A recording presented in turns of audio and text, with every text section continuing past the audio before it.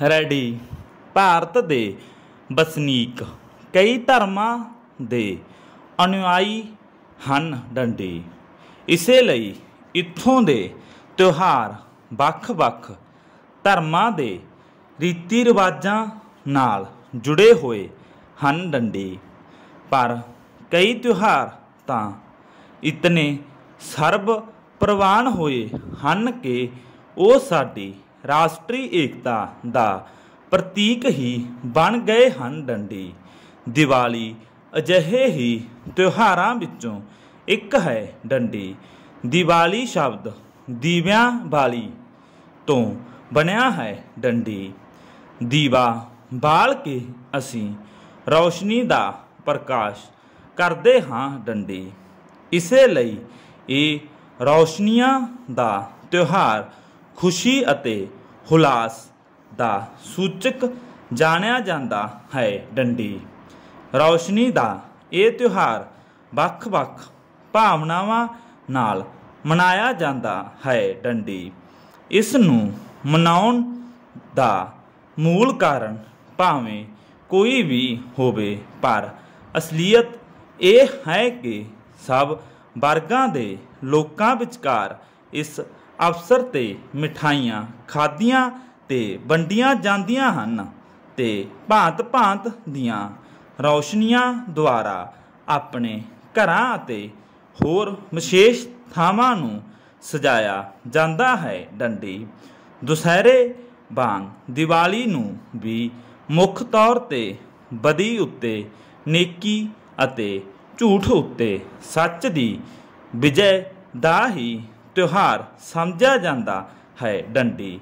ਸਿੱਖਾਂ ਲਈ ਇਸ ਰੌਸ਼ਨੀ ਦੇ ਤਿਉਹਾਰ ਦੀ ਵਧੇਰੇ ਅਹਿਮੀਅਤ ਇਸ ਕਰਕੇ ਹੈ ਕਿ ਇਸ ਦਿਨ ਛੇਵੇਂ ਪਾਤਸ਼ਾਹ ਸ੍ਰੀ ਗੁਰੂ ਹਰਗੋਬਿੰਦ ਜੀ ਗਵਾਲੀਅਰ ਦੇ ਕਿਲੇ ਵਿੱਚੋਂ 52 ਰਾਜਿਆਂ ਨੂੰ ਰਿਹਾ ਕਰਵਾਉਣ ਉਪਰੰਤ ਸ੍ਰੀ ਅੰਮ੍ਰਿਤਸਰ ਵਿਖੇ ਪੁੱਜੇ ਸਨ ਡੰਡੀ। ਉਸ ਸਮੇਂ ਦੇ ਮੁਖੀ ਗੁਰਸਿੱਖ ਬਾਬਾ ਬੁੱਢਾ ਜੀ ਰੈਡੀ ਦੇ ਪ੍ਰਬੰਧ ਹੇਠ ਦੀਪਮਾਲਾ ਆਯੋਜਿਤ ਕਰਕੇ ਗੁਰੂ ਜੀ ਦੇ ਆਗਮਨ ਦੀ ਖੁਸ਼ੀ ਮਨਾਈ ਗਈ ਸੀ ਡੰਡੀ। ਇਹ ਰੀਤੀ ਅੱਜ ਤੱਕ ਵੀ ਜਾਰੀ ਹੈ ਤੇ ਸ੍ਰੀ ਅੰਮ੍ਰਿਤਸਰ ਵਿਖੇ ਦੀਵਾਲੀ ਦੀ ਦੀਪਮਾਲਾ ਜਗਤ ਪ੍ਰਸਿੱਧ ਹੈ ਡੰਡੀ। ਇਸੇ ਦਿਨ ਹੀ ਲਾਹੌਰ ਦੇ ਸੂਬੇਦਾਰ ਦੇ ਹੁਕਮ ਨਾਲ ਭਾਈ ਮਨੀ ਸਿੰਘ ਨੂੰ ਆਪਣਾ ਧਰਮ ਨਾ ਛੱਡਣ ਕਰਕੇ ਬੰਦ-ਬੰਦ ਕੱਟ ਕੇ ਸ਼ਹੀਦ ਕਰ ਦਿੱਤਾ ਗਿਆ ਸੀ ਡੰਡੀ।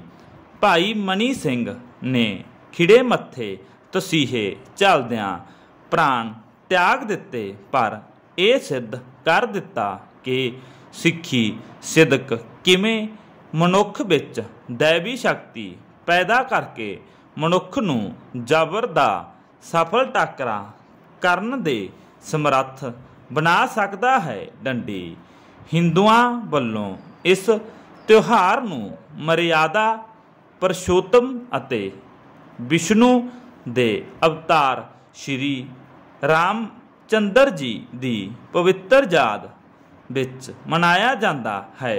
ਡੰਡੀ, ਇਸ ਦਿਨ ਸ਼੍ਰੀ ਰਾਮਚੰਦਰ ਜੀ 14 ਸਾਲ ਦਾ ਬਨਵਾਸ ਕੱਟ ਕੇ ਅਤੇ ਰਾਵਣ ਦਾ ਸੰਘਾਰ ਕਰਨ ਉਪਰੰਤ ਆਪਣੀ ਪਤਨੀ ਸੀਤਾ ਅਤੇ ਭਰਾ ਲక్ష్మణ ਸਮੇਤ ਆਪਣੀ ਰਾਜਧਾਨੀ ਅਯੁੱਧਿਆ ਵਾਪਸ ਆਏ ਸਨ। ਡੰਡੀ, ਉਹਨਾਂ ਦੀ ਆਮਦ ਦੀ ਖੁਸ਼ੀ ਵਿੱਚ ਦੀਪਮਾਲਾ ਕੀਤੀ ਗਈ ਸੀ ਡੰਡੀ। ਸਮਰਾਟ ਵਿਕਰਮਾਦਿੱਤਿਆ ਦੀਵਾਲੀ ਦੇ ਦਿਨ ਉਜੈਨ ਵਿਖੇ ਤਖਤ ਤੇ ਬੈਠੇ ਸਨ ਤੇ ਉਹਨਾਂ ਤੋਂ ਵਿਕਰਮੀ ਸੰਮਤ ਆਰੰਭ ਹੋਇਆ ਡੰਡੀ। ਕਾਰੋਬਾਰੀ ਲੋਕ ਇਸ ਦਿਨ ਨਵੇਂ ਬਹੀ ਖਾਤੇ ਚਾਲੂ ਕਰਨ ਲਈ ਬੜਾ ਸ਼ੁਭ ਅਫਸਰ ਸਮਝਦੇ ਹਨ ਡੰਡੀ। ਆਮ ਲੋਕੀ ਦੀਵਾਲੀ ਵਾਲੇ ਦਿਨ ਘਰਾਂ ਵਿਖੇ ਲక్ష్ਮੀ ਪੂਜਾ ਕਰਦੇ ਹਨ ਡੰਡੀ। ਦੂਜਾ ਪੈਰਾ ਰੈਡੀ ਵਿਸ਼ਵਾਸ ਪ੍ਰਚਲਿਤ ਹੈ ਕਿ ਇਸ ਰਾਤ ਜੇ ਘਰ ਦੇ ਦਰਵਾਜ਼ੇ, ਖਿੜਕੀਆਂ ਖੁੱਲੇ ਰੱਖੇ ਜਾਣ ਤਾਂ ਮਾਇਆ ਦੀ ਦੇਵੀ ਲక్ష్ਮੀ ਗ੍ਰਹਿ ਪ੍ਰਵੇਸ਼ ਕਰਦੀ ਹੈ ਡੰਡੀ। ਸ਼ਾਇਦ ਇਸੇ ਵਿਸ਼ਵਾਸ ਅਧੀਨ ਘਰਾਂ ਨੂੰ ਸਫੈਦੀ, ਸਫ਼ਾਈ ਤੇ ਸਜਾਉਣ ਦੀ ਰੀਤ ਚਿਰਾਂ ਤੋਂ ਚੱਲੀ ਆ, ਆਈ ਹੈ ਡੰਡੀ। ਲక్ష్ਮੀ ਨੂੰ ਪ੍ਰਸੰਨ ਕਰਨ ਲਈ ਘਿਓ ਦਾ ਵੱਡਾ ਦੀਵਾ ਸਾਰੀ ਰਾਤ ਜਲਦੇ ਰੱਖਣ ਦੀ ਰੀਤ ਵੀ ਆਮ ਪ੍ਰਚਲਿਤ ਹੈ ਡੰਡੀ। ਇਹ ਵੀ ਵਿਸ਼ਵਾਸ ਕੀਤਾ ਜਾਂਦਾ ਹੈ ਕਿ ਘਰਾਂ ਅੱਗੇ, ਪਟਾਕੇ ਆਦ ਚਲਾਉਣ ਨਾਲ ਦੁਸ਼ਟ ਆਤਮਾਵਾਂ ਦੂਰ ਹੁੰਦੀਆਂ ਹਨ ਤੇ ਸਰਦ ਰੁੱਤ ਸ਼ੁਰੂ ਹੋਣ ਨਾਲ ਘਰਾਂ ਵਿੱਚ ਰਹਿਣ ਵਾਲੇ ਜੋ ਜੀਵ ਜੰਤੂ ਖੁੱਡਾਂ ਖੂੰਜਿਆਂ ਤੇ ਹਨੇਰੀਆਂ ਥਾਵਾਂ ਤੇ ਬਸੇਵਾ ਕਰ ਲੈਂਦੇ ਹਨ, ਉਹਨਾਂ ਨੂੰ ਬਾਹਰ ਭਜਾਉਣ ਲਈ ਵੀ ਇਹ ਕਾਰਵਾਈ ਬੜੀ ਕਾਰਗਰ ਗਿਣੀ ਜਾਂਦੀ ਹੈ ਡੰਡੀ। ਘਰ ਦੀ ਸਫ਼ਾਈ ਪਿੱਛੇ ਵੀ ਭਾਵੇਂ ਕੰਮ ਤਾਂ ਧਾਰਮਿਕ ਭਾਵਨਾ ਹੀ ਕਰਦੀ ਹੈ, ਪਰ ਇਸ ਦਾ ਵਿਗਿਆਨਕ ਪੱਖ ਇਹ ਹੈ ਕਿ ਸਰਦ ਰੁੱਤ ਸ਼ੁਰੂ ਹੋਣ ਨਾਲ ਆਮ ਤੌਰ ਤੇ ਇਸ ਸਮੇਂ ਤੋਂ ਲੋਕੀ ਅੰਦਰ ਸੌਣਾ ਆਰੰਭ ਕਰਦੇ ਹਨ ਡੰਡੀ। ਇਸ ਲਈ ਘਰ-ਬਾਰ ਦੀ ਸਫੈਦੀ, ਸਫ਼ਾਈ ਤੇ ਸਜਾਵਟ ਸਿਹਤ ਨੂੰ ਮੁੱਖ ਰੱਖਦਿਆਂ ਬੜੀ ਜ਼ਰੂਰੀ ਹੈ ਡੰਡੀ। ਇਹ ਤਿਉਹਾਰ ਬੰਗਾਲ ਵਿਖੇ ਲక్ష్ਮੀ ਦੀ ਥਾਂ ਕਾਲੀ ਮਾਂ ਦੀ ਪੂਜਾ ਦੇ ਤੌਰ ਤੇ ਮਨਾਇਆ ਜਾਂਦਾ ਹੈ ਤੇ ਇਸ ਦੇ ਪਿੱਛੇ ਮੁੱਖ ਭਾਵਨਾ ਵੀ ਬਦੀ ਉੱਤੇ ਨੇਕੀ ਦੀ, ਜਿੱਤ ਦੀ ਖੁਸ਼ੀ ਹੀ ਹੈ ਡੰਡੀ। ਇਸ ਅਵਸਰ ਤੇ ਰੈਡੀ ਥਾਂ ਥਾਂ ਜੋ ਕਾਲੀ ਪੂਜਾ ਲਈ ਕਲਾਤਮਿਕ ਨਮੂਨੇ ਦੇ ਪੰਡਾਲ ਬਣਾਏ ਜਾਂਦੇ ਹਨ ਤੇ ਭਾਂਤ-ਭਾਂਤ ਦੇ ਨਮੂਨਿਆਂ ਦੀ ਰੌਸ਼ਨੀ ਦੀ ਸਜਾਵਟ ਕੀਤੀ ਜਾਂਦੀ ਹੈ। ਉਹਨਾਂ ਦੀ ਸ਼ੋਭਾ ਦੇਖ ਦੇਖਿਆ ਹੀ ਬਣਦੀ ਹੈ ਡੰਡੀ।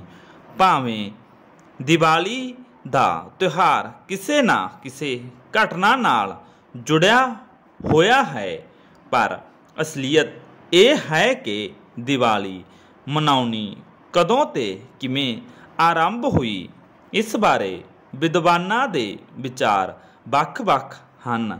ਡੰਡੀ ਇੱਕ ਵਿਚਾਰ ਅਨੁਸਾਰ ਅੱਜ ਤੋਂ ਕੋਈ 3000 ਸਾਲ ਪਹਿਲਾਂ ਮਹਾਤਮਾ ਬੁੱਧ ਤੋਂ ਕੁਝ ਸਮਾਂ ਪਹਿਲਾਂ ਵੀ ਇਹ ਤਿਉਹਾਰ ਪ੍ਰਚਲਿਤ ਸੀ ਡੰਡੀ। ਦੀਵਾਲੀ ਬਾਰੇ ਵਿਚਾਰ ਭਾਵੇਂ ਅਨੇਕ ਹਨ, ਪਰ ਇਹ ਗੱਲ ਪ੍ਰਤੱਖ ਹੈ ਕਿ ਇਹ ਆਪਸੀ ਭਾਈਚਾਰੇ ਤੇ ਸਰਬ ਸਾਂਝ ਦਾ ਮਹੱਤਵਪੂਰਨ ਤਿਉਹਾਰ ਹੈ ਡੰਡੀ। ਸਿੱਖ ਇਤਿਹਾਸ ਵਿੱਚ ਦੀਵਾਲੀ ਸੰਬੰਧੀ ਮਹੱਤਵਪੂਰਨ ਜ਼ਿਕਰ ਮਿਲਦਾ ਹੈ ਡੰਡੀ। ਭਾਈ ਗੁਰਦਾਸ ਜੀ ਦੀਵਾਲੀ ਦੀ ਮਹੱਤਤਾ ਦਰਸਾਉਂਦੇ ਹੋਏ ਲਿਖਦੇ ਹਨ, ਦੀਵਾਲੀ ਕੀ ਰਾਤ? ਦੀਵੇ ਬਾਲੀਅਨ। ਗੁਰਮੁਖ ਸੁਖ ਫਲਦਾਤ ਸ਼ਬਦ ਸਮਾਲੀਅਨ। ਦੀਵਾਲੀ ਮਨਾਉਣ ਦੀ ਪਰੰਪਰਾ ਤਾਂ ਭਾਵੇਂ ਅੱਡ-ਅੱਡ ਹੈ, ਪਰ ਸਮੂਹਿਕ ਤੌਰ ਤੇ ਇਸ ਦਾ ਉਦੇਸ਼ ਆਪਣੇ ਹਨੇਰੇ ਮਨਾਂ ਅੰਦਰ ਗਿਆਨ ਦੀ ਜੋਤ ਜਗਾ ਕੇ ਅਗਿਆਨਤਾ ਦੇ ਹਨੇਰ ਨੂੰ ਦੂਰ ਕਰਨਾ ਹੀ ਸਮਝਿਆ ਜਾਂਦਾ ਹੈ।